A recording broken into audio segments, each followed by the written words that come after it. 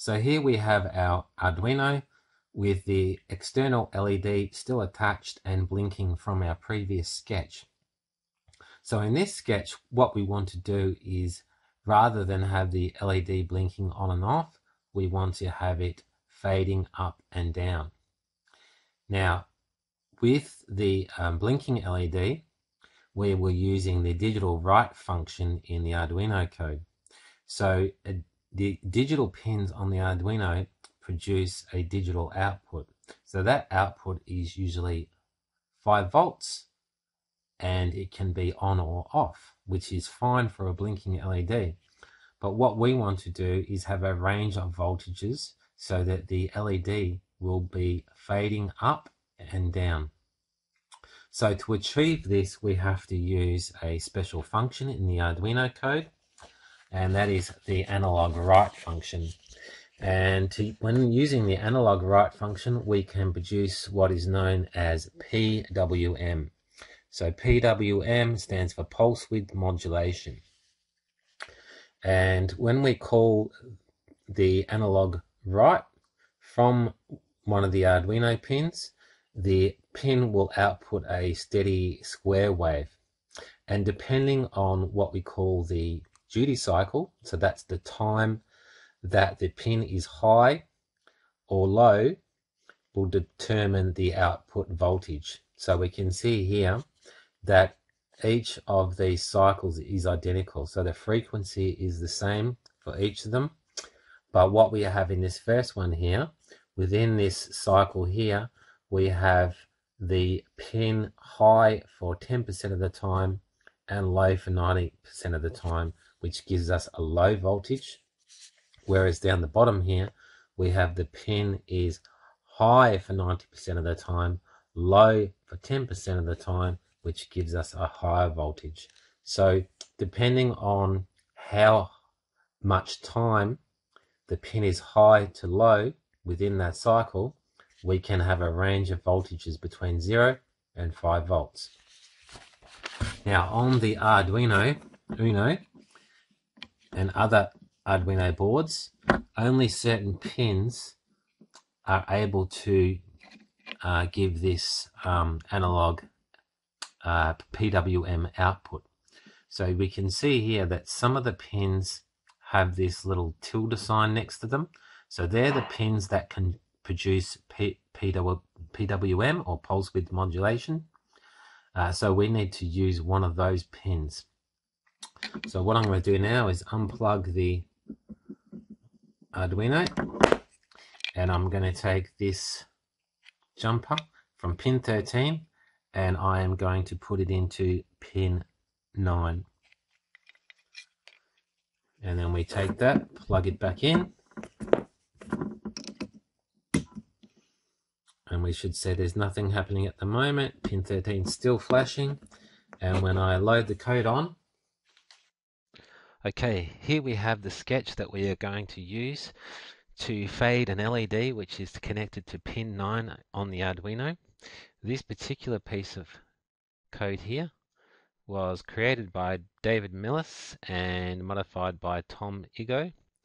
Um, and this one makes use of a for loop and we're going to go through this in a minute. Um, there is another fade example which is included in the examples that ship with the Arduino IDE called fade and that one makes use of some if statements. So an if statement right here. So there's a couple of different choices. Um, the reason why I've gone with this one um, is because of this for loop here. So this piece of code right here is quite a useful piece of code uh, and it gets used quite often for other Arduino sketches. So we're going to be looking at that one and using that more in the future. So just to go through this code here, we have declared a variable here which is outside of the loops, outside of the uh, function and setup, etc um, and we've uh, set it to pin 9.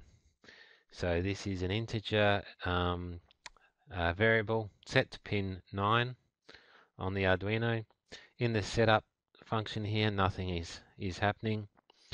And then we go down to the loop.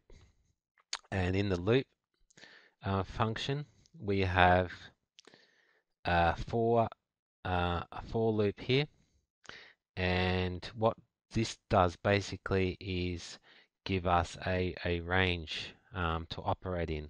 So from the um, value of fade value, we've declared this new variable here, fade value.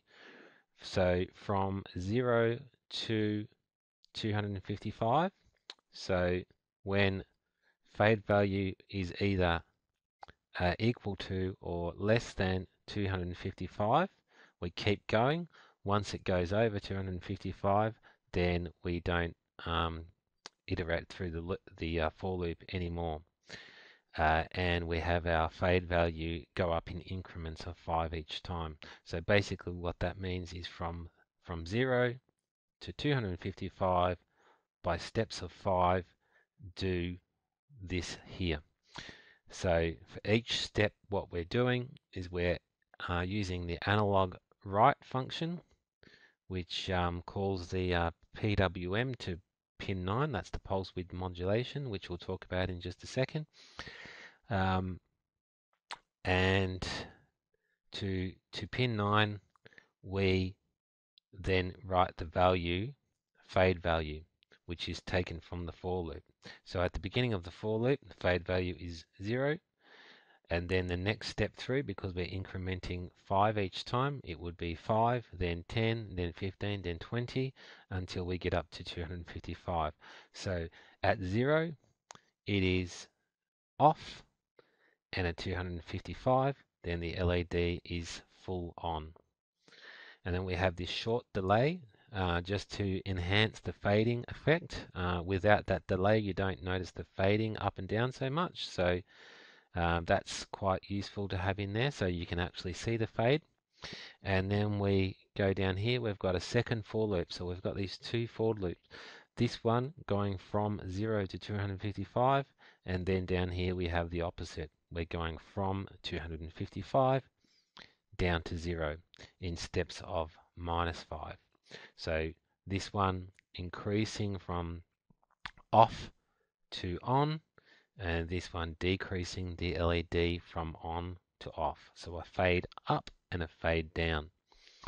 Um, if we just go across here, you'll see this is on the Arduino uh, website, the analog write, its, um, its parameters. So the duty cycle between 0 and 255. So this um, page on the Arduino site, Analog Write, will explain Analog Write to you and also PWM if you want to get a, a better understanding of, of pulse width modulation. They're both on the Arduino uh, website.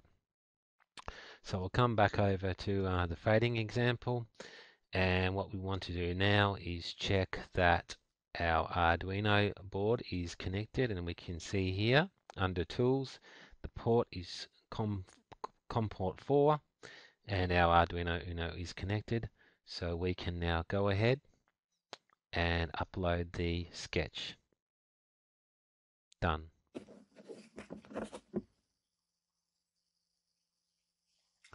And we will see that the LED is now indeed fading up and fading down.